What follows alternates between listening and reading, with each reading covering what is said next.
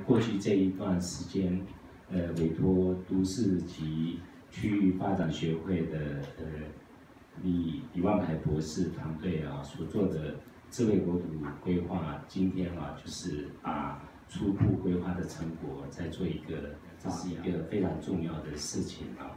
那马祖这几年发展的非常快速，但是毕竟啊，我们马祖是一个离岛，呃，偏向岛屿分散。受限于呃一个自然环境以及交通的因素，呃，我们的发展当然是呃受到一些限制啊。呃，虽然那现阶段，昨天我们智慧城市的一个呃成果研讨会中，我们抓住一一些比较重要的面向，希望说能优先的做，比如说我们的呃智慧运输系统的整合。比如说我们县民卡的计划，比如说我们智慧医疗计划等等，希望说善用这样子的一个资源呢，整合我们现有的一个系统给政政府服务的人。十年前这个词开始使用啊，就 IBM 开始在谈那个智慧地球，但是之前难道都没有做什么什么系统建设吗？当然不可能嘛，哦，一直都有，哦，所以只是说它就是一个阶段性的一个一个一个一个 turn 而已，所以我们只是在思考，就是说。回归到智慧城市本身，就是说，我们到底要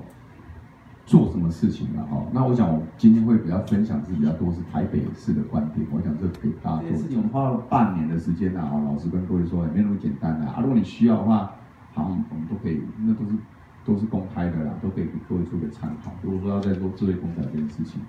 好，啊，那这些交流，我想这个时间关系。我就不赘述了啊。那现在就是说，我们其实有一些合作机制，我觉得这个很好啦，就让让那个学习资源更多一点。那我就举一个例子啊，老实说，我们像像那时候科比喊那个一生一平板啊，其实那时候我们帮他做个修正啊。我要重要就是资料的一个收集。那资料收集当然也要透过这种硬体软体这种监测的配合，我们可以获得到这些资料，才有办法去做整个智慧国土的一个啊，包括系统的一个运行。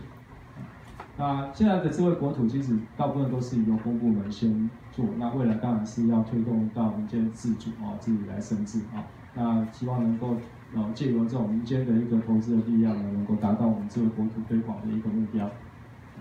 那在我们连江县的一个永续智慧国土的目标哈，当然就是在我们的啊县政的蓝图十大十大愿景之下，我们去建构。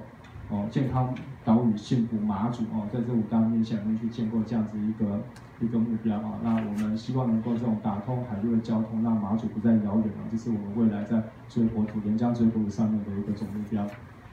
那目前呢，连江的一个的一个智慧国土城乡城乡的建设里面，其实我们可以看到说，哦，现在连江的这种网网络的这种覆盖率达百分之百哈，三 G 到了百分之五十，四 G 以上的啊覆盖率到百分之八十。呃，加固的网际网络已经有百分之七十等等的啊，那其实现在陆陆续续都一直在建制中的，而且这样子的一个状况是非常好的，这也让我们能够能够去预知未来我们连家在推动这个国土这一这一件事情上，这种基本建设的一个设施是非常的好的哦，也比较完备哦。